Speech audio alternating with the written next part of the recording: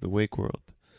My name is Lola because I am the key of delights, and the other Virgo Mundi children in my dream call me Lola Daydream. When I'm awake, you see, I know that I am dreaming. So they must be very silly children. Now, don't you think? There are people in the dream, too, who are quite grown up and horrid. But the really important thing is the wake up person. There's only one for Adonai. There c- never could be uh, anyone like him. Uh, I call him my fairy prince. He rides a uh, horse with beautiful wings like a swan, and sometimes a strange creature like a pegasus, lion, or bull, with a woman's face or breasts, and she has an unfathomable sphinx eyes. My fairy prince is a dark boy, very comely. I think that everyone must love visa visa visa visa vi him, and yet everyone is afraid. He looks through one just as if one had no clothes on in the garden of God, and he had made one, and one could do nothing except in the mirror of his mind. He never laughs or frowns or smiles. Because whatever he sees, he sees what is beyond as well, and so nothing ever happens. His mouth is redder than any roses you ever saw. I wake up quite when we kiss each other, and there is no dream any more. But when it is not trembling on mine, I see kisses on his lips, as if he were kissing someone one could not see. Now you must know that my fairy prince is my lover, and one day he will come for good and ride away with me and marry me. I shan't tell you his name because it is too beautiful. It's a great secret between us. When we were engaged, he gave me such a beautiful ring. It was like this. First there was a sigilla annuli, was his shield, which had a sun on it and some roses, all on a kind of bar, and one cognomenus. There was a terrible number written on it. Then there was a, a bank of soft roses, 666, with the sun shining on it, and above there was a red rose and a golden cross, two I ordinus. And then there was a three cornered star shining so bright that no one could three two ordinus possibly look at it unless they had love in their eyes. And in the middle there was a four three ordinus eye without an eyelid that could see anything, and I should think. But you see it could never go to sleep because there wasn't any eyelid. On the sides were written INRI and tarot, which mean many strange and beautiful things, and terrible things too. I should think that anyone would be afraid to hurt anyone who wore that ring. It is all cut out of amethyst, and my fairy prince said, Whenever you want me, look into the ring and call me ever so softly by my name, and kiss the ring, and worship it, and then look ever so deep into it, and I will come to you. So I made up this pretty poem to say every time I, in Cantio, woke up, for you see I am a very sleepy girl, and dream ever so much about the other children, and that is a pity, because there is only one thing I love, and that is my fairy prince. So this is the poem I did to worship the ring. Part is in words and part is in pictures. You must pick out what the pictures mean, and then it all makes poetry. The invocation of the ring. Adonai, thou inmost fire, self glittering image of my soul, strong lover of thy bride's desire, call me and claim me in control. I pray thee keep the holy tryst within this ring of amethyst. For on mine eyes the golden sun hath dawned, my vigil slew the night. I saw the image of the One, I came from darkness into light. I pray thee keep the holy tryst within this ring of amethyst. I N R I, me crucified, me slain, interred, arisen, inspire. Tarot, me glorified, anointed, fill with frenzied fire. I pray thee keep the holy tryst within this ring of amethyst. I eat my flesh, I drink my blood, I gird my loins, I journey far, for thou hast shown Ogdoad, Ion, Kether, calm lie, ether. I pray thee keep the holy tryst within this ring of amethyst. Prostrate I wait upon thy will, mine angel, for this grace of union. O let this sacrament distill thy conversation and communion. I pray thee keep the holy tryst within this ring of amethyst. I have not told you anything about myself because it doesn't really matter. The only thing I want to tell you about is my fairy prince. But as I am telling you all this, I am seventeen years old, and very fair, and when you shut your eyes to look, but when you open them, I am really dark, with fair skin. I have ever such heaps of hair, and big, big round eyes, always wondering at everything. Never mind, it's only a nuisance. I shall tell you, though, what happened one day when I said the poem to the ring. I wasn't really quite awake when I began, but as I said it, it got brighter and brighter, and when I came to Ring of Amethyst, Advent Adonai Amethyst, the fifth time, there are five verses because my lover's name has five V's in it. He galloped across the beautiful green sunset, spurring the winged horse till the blood made all the sky turn rose red. So he caught me and set me on his horse, and I clung to his neck, and as we galloped into the night, then he told me he would like to take me to his palace and show me everything, and one day when we were married, I should be mistress of it all. Then I wanted to be married to him at once, and then I saw it, it couldn't be because I was so sleepy and had bad dreams, and one can't be a good wife if one is always doing that sort of thing. But he said I would be older one day, and not sleep so much, and everyone slept a little, but the great thing was not to be lazy and contented with the dreams, so I mean to fight hard. By and by we came to a beautiful green palace with the strangest house you regnum spati ever saw.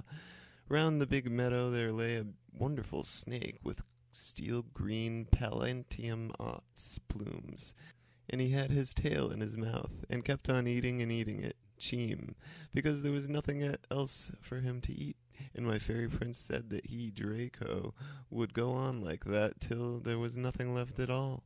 Then I said it would get smaller and smaller and crush the meadow and the palace, and I think perhaps I began to cry. But my fairy prince said, Don't be such a silly, and I wasn't old enough to understand all that it meant. But one day I should, and all I had to do was be as glad as glad. So he kissed me, and we got off the horse and he took me to the door of the house, and he went in. It was ceremonium, frightfully dark in the palace, and I felt tied, so that I couldn't move. So I, zero degree equals zero degree, promised to myself to love him always, and he kissed me. It was dreadfully, dreadfully dark, though, but he said not to be afraid, silly, and it's getting lighter. Now keep straight forward, darling. And then he kissed me again and said, Welcome to my palace. I will tell you all about how it was built because it was the most beautiful palace that ever was. On the sunset side there were all the baths, and the bedrooms, Domus X, were all in front of us as we were. The baths were all of pale olive colored V regnum marble, and the bedrooms had lemon colored everything. Then there were V porta, the kitchens on the sunrise side, and they were russet, like dead leaves and are in loci secundum autumn in one's dreams.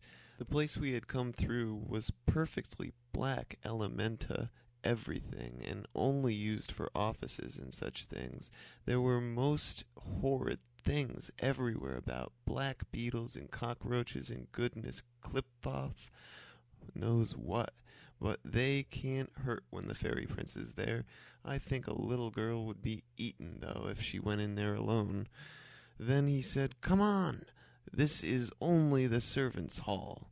Nearly everybody stays there all their lives. And I said, Kiss me! So he said, Every step you take is only possible when you say that. We came into a dreadful dark via V. Crux passage again, so narrow and low that it was like a dirty old tunnel, and yet so vast and wide that everything in the whole world was contained in it.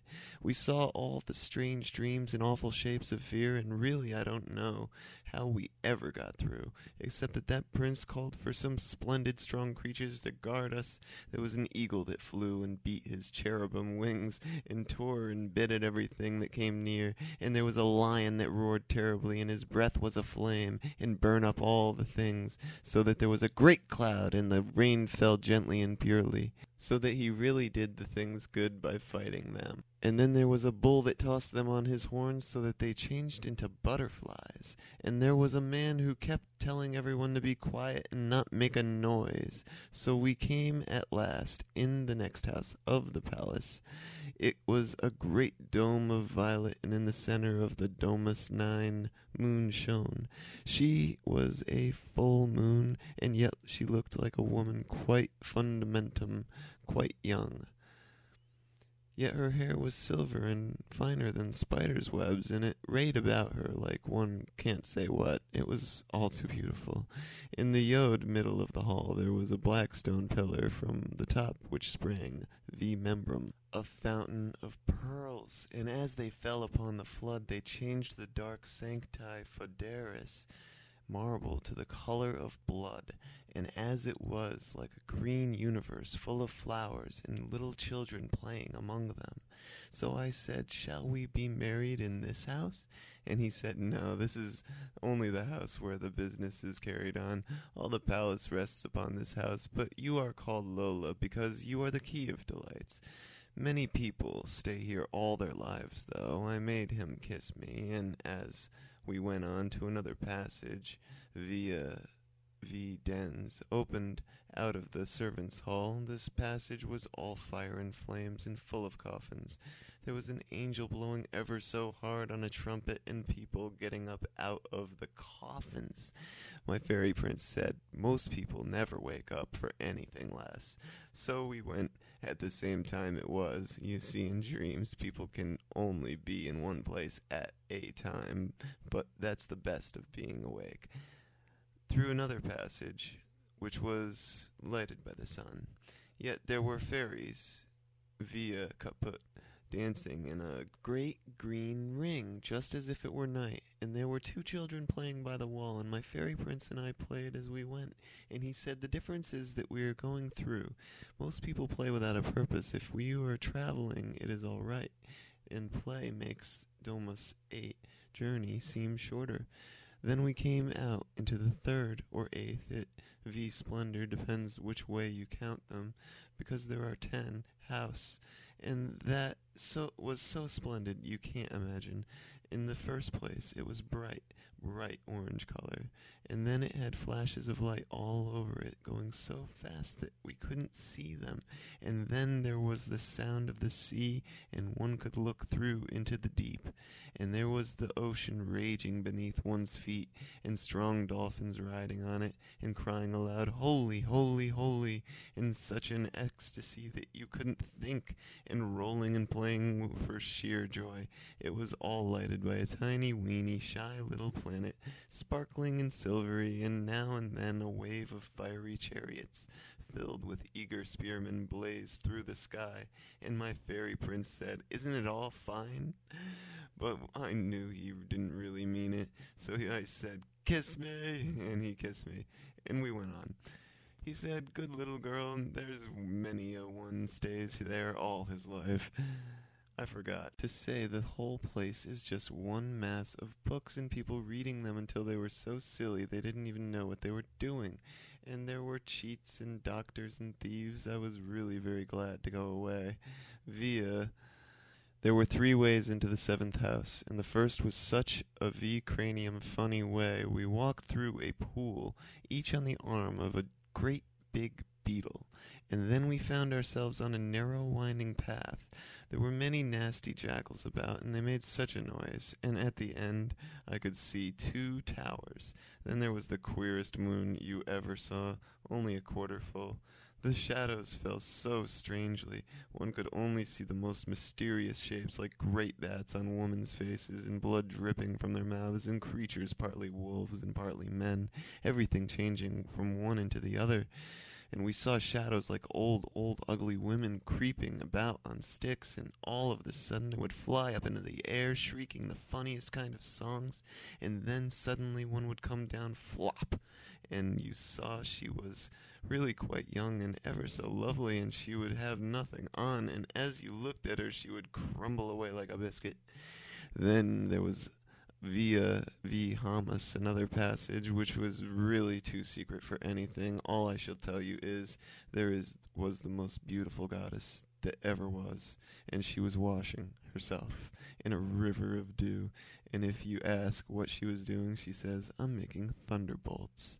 It was only starlight, and yet one could see quite clearly, so via v os don't think I'm making a mistake. The third path is the most terrible passage. It's all a great war, and there's earthquakes and chariots of fire and all the castles breaking to pieces. I was glad when we came to the Green Palace.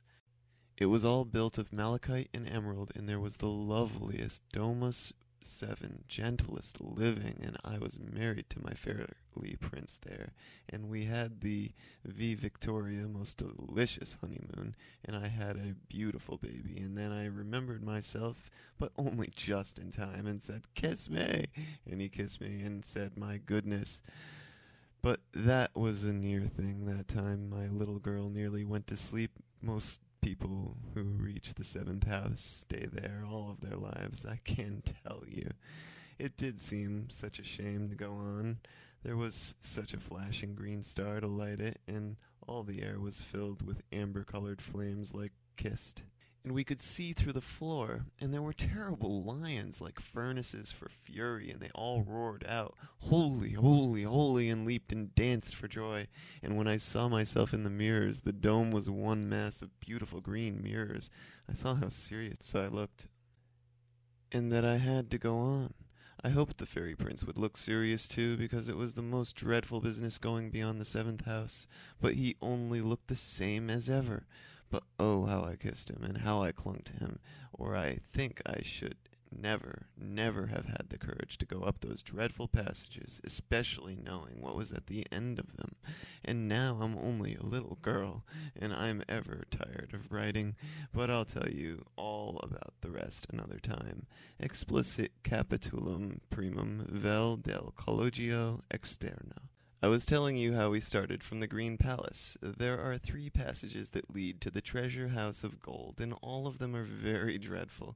One is called the Terror by Night, and another the Arrow by Day, and the third has a name that people are afraid to hear, so I won't say. But in the first, we came to a mighty throne of gray granite, shaped like the Via V Oculus sweetest pussycat you ever saw, and set up on a desolate heath. It was the midnight, and the devil came down and sat in the midst. But my fairy prince whispered, Hush, it is a great secret, but his name is Yeshua, and he is the Savior of the world. And that is very funny because the girl next to me thought it was Jesus Christ, till another fairy prince, my prince's brother, whispered as he kissed her, Hush, tell nobody ever. That is Satan, and he is the Savior of the world. We were a very great company, and I can't tell you all the strange things we did and said, or of the song we sang as we danced face outward in a great circle over closing in on the devil on the throne. But whenever I saw a toad or a bat or some horrid insect, my fairy prince always whispered, It's the Savior of the world and I saw that it was so. We did all the most beautiful wicked things you can imagine, and yet all the time we knew that they were good and right, and must be done if we are ever to get to the house of gold. So we enjoyed ourselves very much, and ate the most extraordinary supper you can think of. There were babies roasted whole and stuffed with pork sausages and olives, and some of the girls cut off chops and steaks from their own bodies, and gave them a beautiful white cook to a silver grill that were lighted with the gas of dead bodies and marshes. He cooked them splendidly, and we all enjoyed it immensely. Then there was a tame goat with a gold collar and went about laughing with everyone, and he was all shaved in patches like a poodle. We kissed him and petted him, and it was lovely. You must remember that I never let go of my fairy prince for a single instant, or of course I should have been turned into a horrid black toad.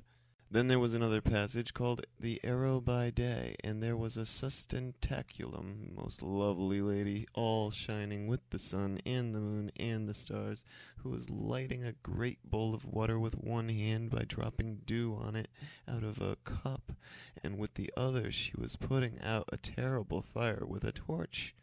She had a red lion and a white eagle that she always had ever since she was a little girl She had found them in a nasty pit full of all kinds of filth, and they were very savage, but always treating them kindly. They had grown up faithful and good. This should be a lesson to all of us, never to be unkind to our pets. Pisces, my fairy prince, was laughing all the time in the third path. There was nobody there but an old gentleman who had but his bones on the outside and was trying ever so hard to cut down the grass with a scythe, but the faster he cut, the faster it grew. My fairy prince said, Everybody that ever was has come along this path, and yet only one has ever gotten to the end of it. But I saw a lot of people walking straight through as if they knew it quite well. He explained, though, that they were really only one, and if you walked through, that proved it.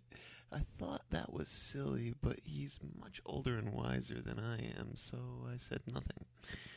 The truth is that it is a very difficult palace to talk about, and the further you get in, the harder it is to say what you mean because it all has to be put into dream talk.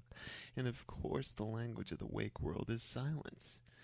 So, Domus 6. So never mind. Let me go on. We came by and by to the sixth house. I, Pulchritudo, forgot to say that there were all those three paths were really one, because they all meant that things were different inside to outside, so people couldn't judge.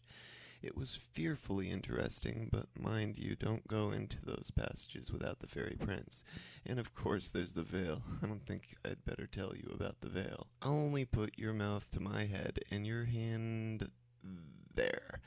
That'll tell anybody who knows that I've really been there, and it's all true that I'm telling you.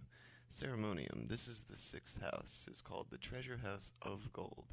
It's the most five degree equals six degree mysterious place as ever you were in. First, there's a tiny, tiny, tiny doorway, humilitas, you must crawl through on your hands and knees. And even then, I scraped ever such a lot of skin off my back. Then you have to be nailed on a red board with supplicium forearms with a great gold circle in the middle, and that hurt dreadfully. Then they make you swear the most solemn things you ever heard of, how you would be faithful to the fairy prince and live for nothing but to know him better and better, so the nails stopped hurting because of course I saw that I was really being married, and this was part of it, and I was glad as glad. And at that moment my fairy prince put his hand on my head, and I tell you, honor bright, it was the more wake up than ever before, ever then when he used to kiss me. After that they said I could go into the bride chamber, but it was only the most curious room that ever was, with seven sides. There was a sepulchrum, dreadful red dragon on the floor, and all the sides were painted every color you can think of, with curious figures and pictures. The light was not like a dream light at all. It was a wake light, and it came through a beautiful rose in the ceiling. It, in the middle was a table all covered with beautiful pictures and texts, and there was ever such strange things on it. There was a little crucifix in the middle, all of diamonds and emeralds and rubies and other precious stones, and there was a dagger with a golden handle and a cup full of the most delicious wine, and there was a curious coin with the strangest writing on it, and a funny little stick that was covered with flames like a rose tree is with roses. Beside the strange coin was a heavy iron chain, and I took it around and put it on my neck because I was bound to my fairy prince, and I would never go about like other people till I found him again. And they took the dagger and dipped it in the cup and stabbed me all over to show that I was not afraid to be hurt if only I could find my fairy prince. Then I took the crucifix and held it up to make more light in case he was somewhere in the dark corners, but no. Yet I knew he was there somewhere so I thought he must be in the box, for under the table was a great chest, and I was terribly pastros pastries. Sad because I felt something dreadful was going to happen, and sure enough, Nostri CRC, when I had the courage, I asked them to open the box, and the same people that made me crawl through that horrid hole and lost my fairy prince and nailed me to the red board took away the table and opened the box, and there was my fairy prince quite, quite dead. If you only knew how sorry I was. But I had with me my walking stick with wings, and a shining sun at the top, baculum, which had been his, and I touched him on the breast to try to wake him, but it I adepti was no good. Only I seemed to hear his voice saying wonderful things, and it was quite certain he wasn't really dead. So I put the walking stick on his beast, and another th- little thing he had which I had forgotten to tell you about. It was a kind of a cross with an oval handle that he had been very fond of, but I Crux ansata couldn't go away without something of his. So I took a shepherd's staff, and I pidded him at little whip with blood on it and jewels oozing from the blood. If you know flagellum, what I mean, that they had put in his hands when they buried him. Then I, Oh, o Sideris, went away and cried and cried and cried, but before I had gotten very far they called me back. And the people who had been so stern were smiling, and I saw they had taken the coffin out of the little room with the seven sides and the cur inter mortuus coffin was quite, quite empty. They had begun to tell us all about it, and I vivum Pete's heard my fairly prince within the little room saying holy exalted things such as non est hic el, all the, as the stars trace in the sky as they travel in a car called millions of resurrexit years. Then then they took me into this little room, and there was my fairy prince standing in the middle. So I knelt down as we all kissed his beautiful feet, and the myriads of eyes like diamonds that were hidden in his feet laughed joy at us. One couldn't lift one's head because he was too glorious to behold. But he spoke wonderful words like dying nightingales that have sorrowed for the fading of the roses and pressed themselves to death upon the thorns, and one's whole body became a single eye, so that one saw as if the unborn, though of light, brooded over an eternal sea. Then was light as the lightning flashed advenat LVX out of the east, even unto the west, and it was fashioned as the swiftness of a subtribus sword. Specibus by and by one rose up, then one seemed to be quite, quite dead and buried in the center of a pyramid of the most brilliant light it was possible to think of, and it was wake light too, and everybody knows that even wake darkness is really brighter than the dream light. So you must just guess what it was like. There was more than that, too. I can't possibly tell you.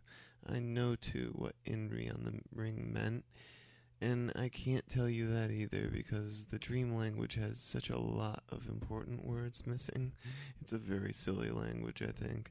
By and by, I came to myself a little, and now I was really and truly married to the fairy prince, so I suppose we shall always be near each other now.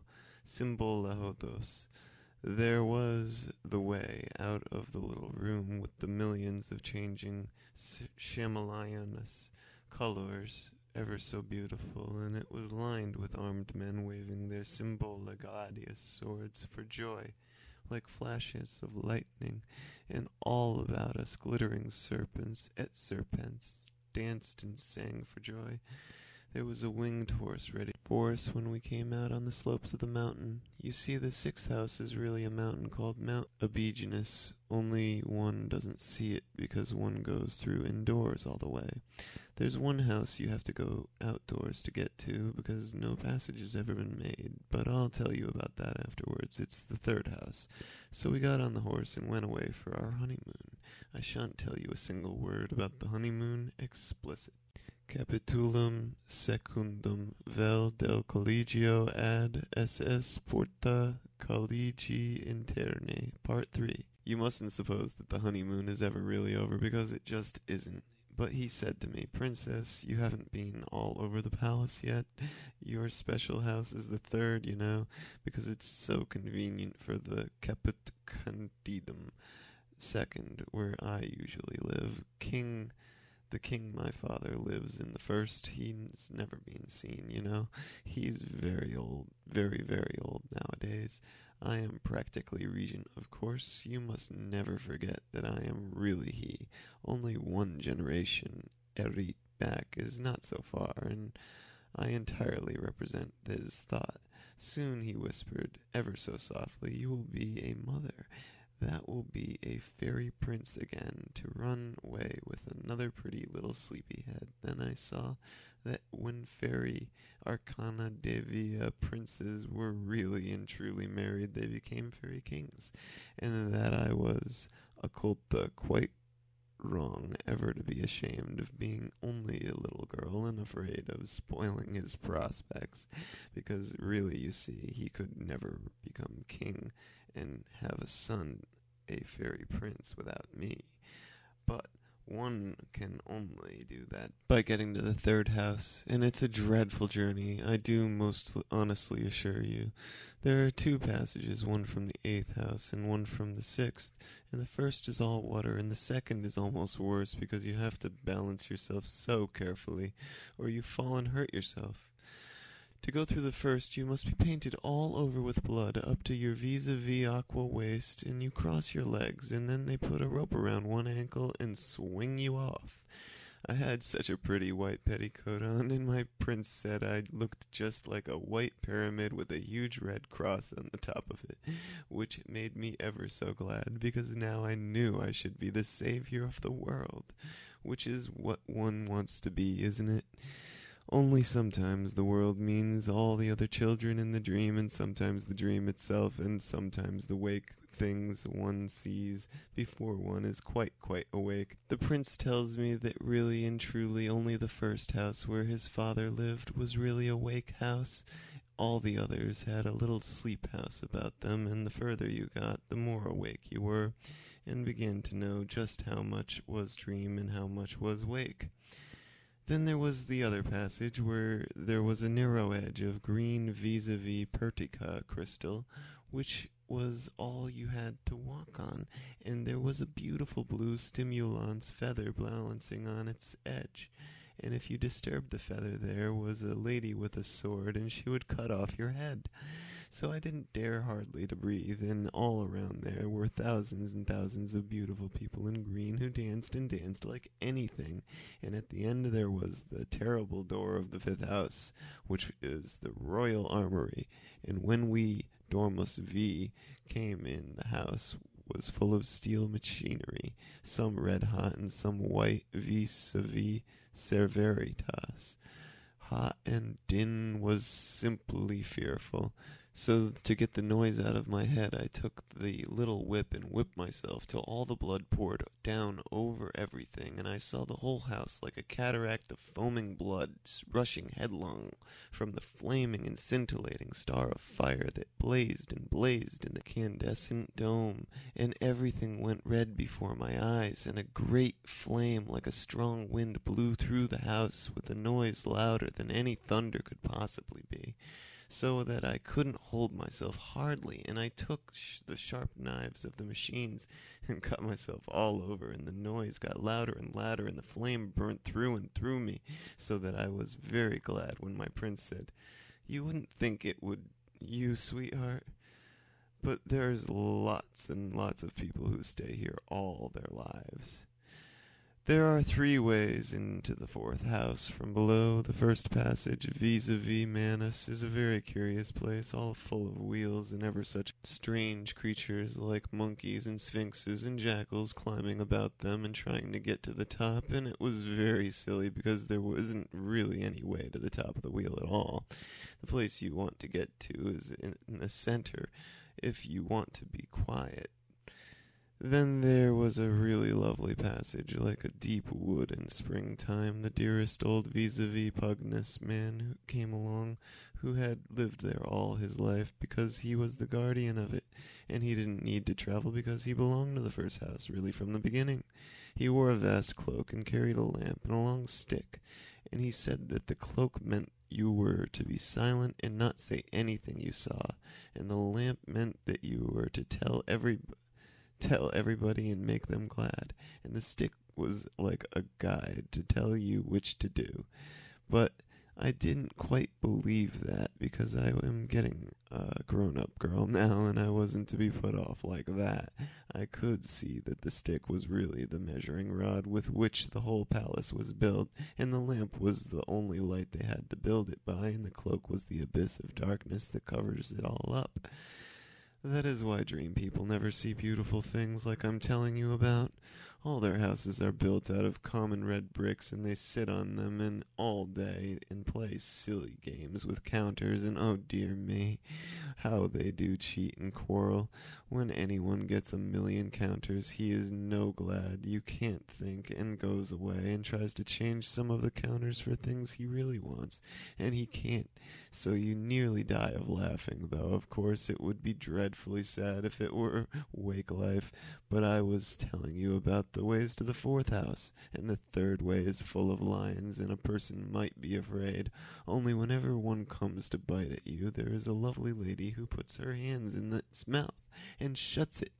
So we went through quite safely, and I thought of Daniel in the lion's den.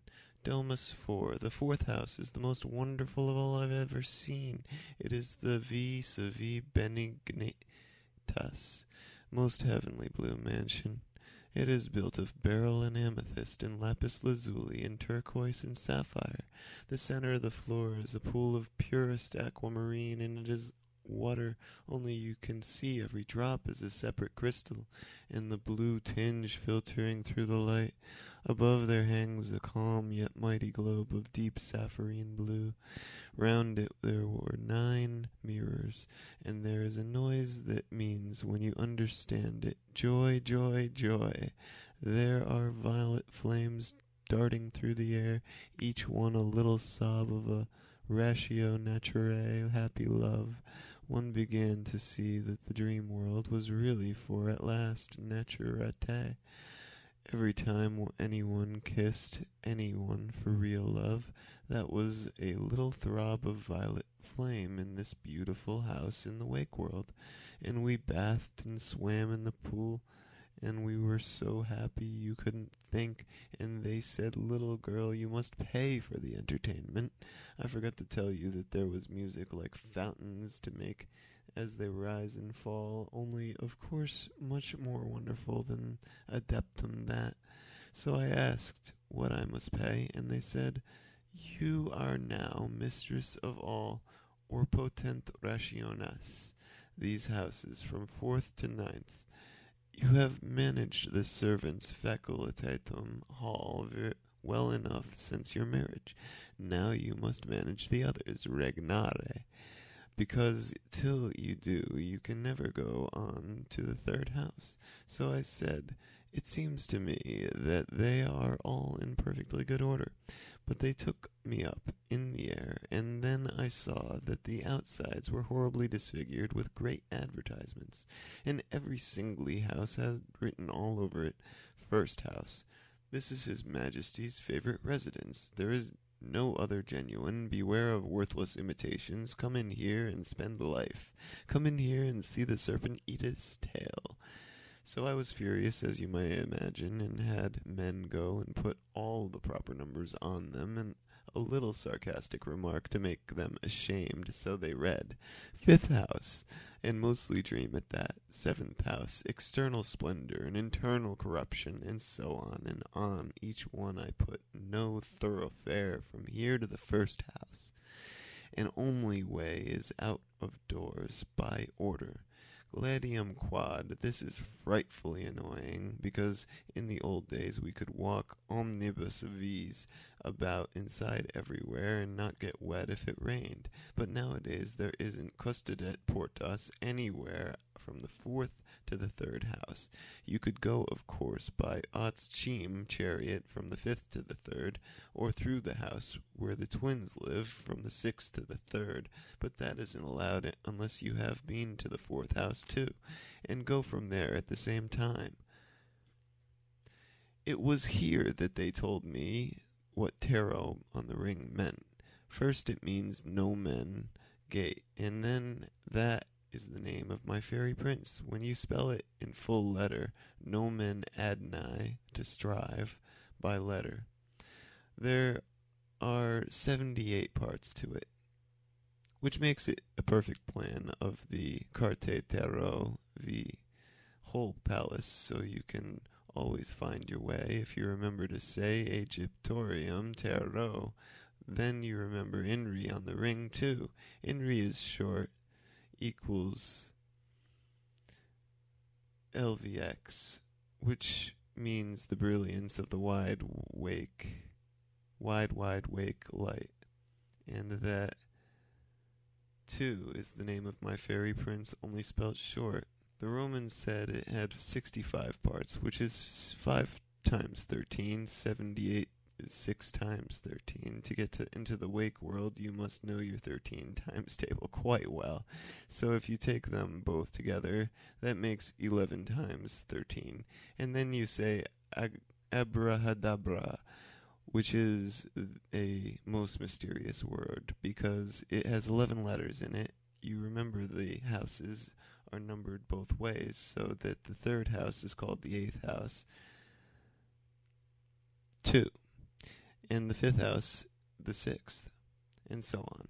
But you can't tell what lovely things that means till you've been through them all and got to the very end.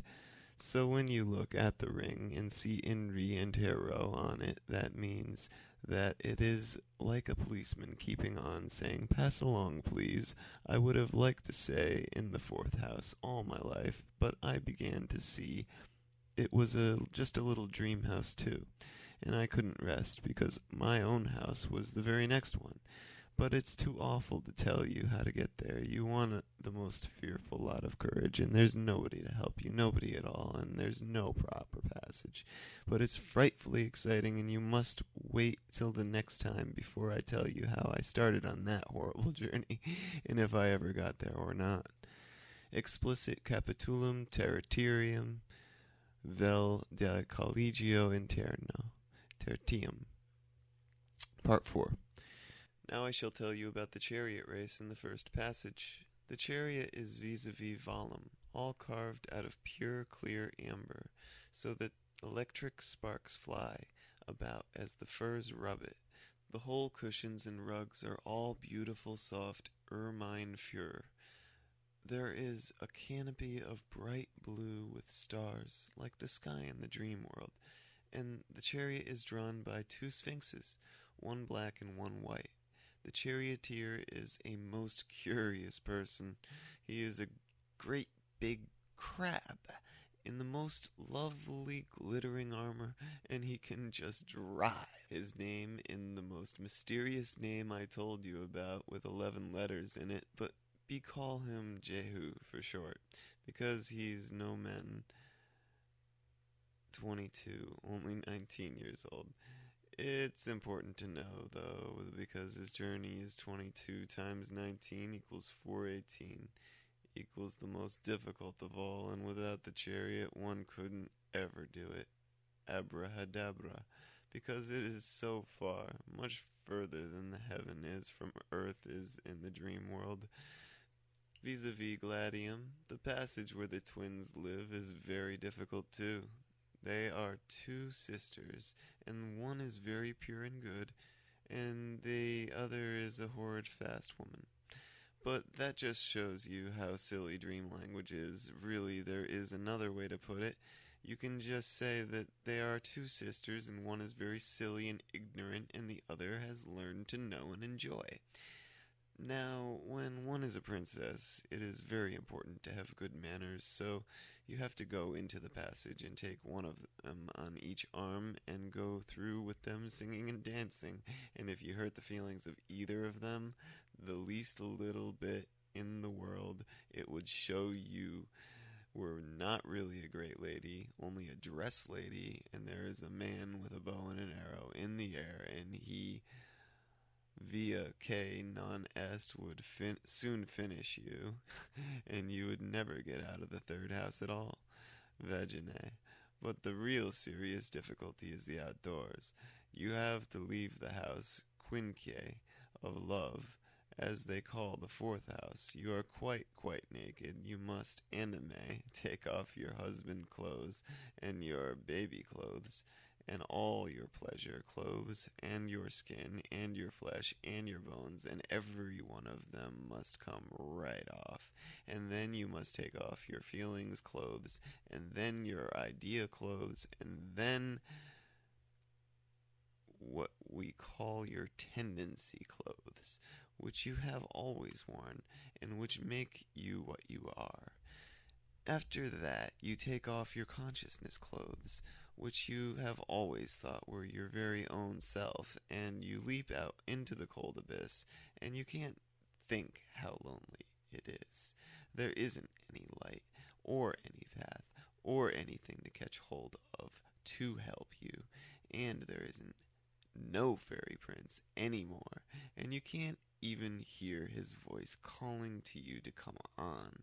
There's nothing to tell you which way to go, and you feel the most horrible sensation of falling away from everything that ever was. You've got no nothing at all, and you don't even know how awful it is. You would turn back if you could only stop falling, but luckily you can't. So you fall and fall faster and faster, and I can't tell you anymore. Domus 3. The third house is called the House of Sorrow. They gave me new V intellectio clothes of the queerest kind because one never thinks of them as one's own. A best egoitas clothes, but only as clothes. It is a house of utmost darkness. There is a pool ego est non ego of black solemn water in the shining obsidian, and one is like a vast veiled puerperium figure of wonderful beauty brooding over the sea, and by and by the pains come upon one. I can't tell you anything about the pains, only they are different from any other pains, because they start from inside you, from a deeper part, a deeper, truer kind of you than you ever knew.